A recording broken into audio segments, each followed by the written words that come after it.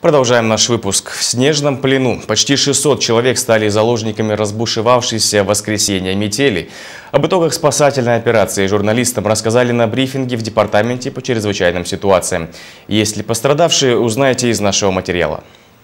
В воскресенье 19 февраля погода в очередной раз преподнесла неприятный сюрприз североказахстанцам. Зима, похоже, никак не хочет уходить. Метель разбушевалась и длилась 12 часов. Не обошлось без последствий. В снежном плену оказались почти 600 человек. Было зафиксировано за сутки 32 случая снежных заносов. В данный снежный занос попали 196 единиц техники, 578 человек из них 93 ребенка. За последние сутки на пульт 112 поступило больше 1800 телефонных звонков. Люди просили о помощи.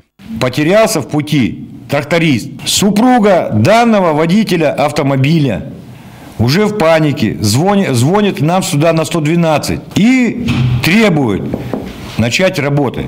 После шести часов пробивания дороги они обнаружили трактор, тракторист находился внутри. Если были бы морозы, то, может быть, что-нибудь и было бы плачевно. В основном снежные заносы были в Аиртауском районе Шалакына и имени Габита Мусрепова. Когда погода ухудшается, спасатели идут на крайние меры, ограничивают движение. Вчера вечером дороги по всем направлениям были закрыты. С утра машинам разрешили проезд только по республиканским трассам. Сотрудники ДЧС рассказывают, что делать, если вы попали в снежную западню.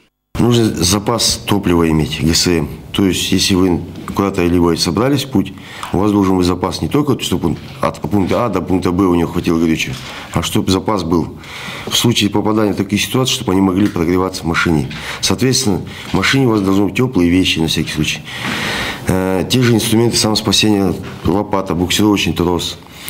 Э, желательно, чтобы был там термос с горячим чаем. В регионе действует 243 пункта обогрева. Здесь водители и пассажиры могут выпить горячего чая и отдохнуть. Денис Севков, Казбек Рыгбаев, Новости МТРК.